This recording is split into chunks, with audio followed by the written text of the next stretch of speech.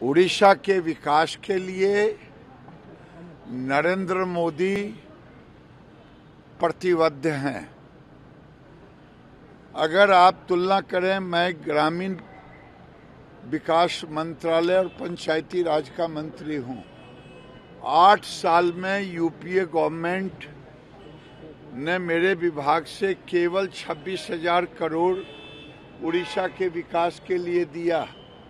हमने मोदी जी ने एक लाख करोड़ हमें उड़ीसा को देने के लिए दिया। और वही नहीं, आवास के लिए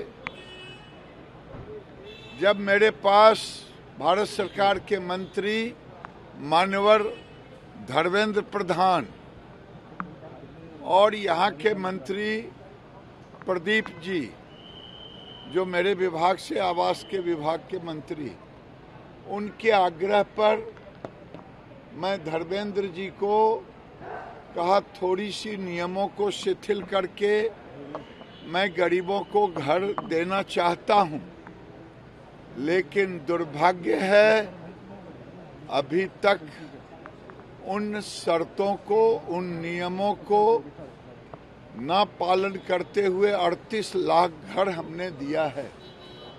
तीसरी बात ये, उड़ीसा जैसे शांत, सांस्कृतिक राज्य आज